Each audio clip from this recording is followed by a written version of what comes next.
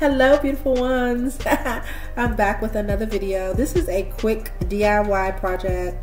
I am still currently doing home makeover at my house and I wanted a greenery chandelier to hang up in my living room and I googled it online and the price points were like so high and I thought I could probably make this myself. I googled the instructions, super easy. I found a hula hoop that I had around the house that the kids no longer use and then I went to Home Depot, grabbed these chains, linked them together.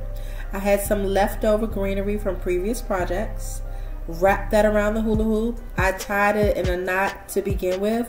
And honestly, after you wrap it a few times, it kind of just jumbles together so it doesn't come loose. And then I added some fairy lights because I wanted a low light setting. And this is how it turned out. Happy watching. Bye.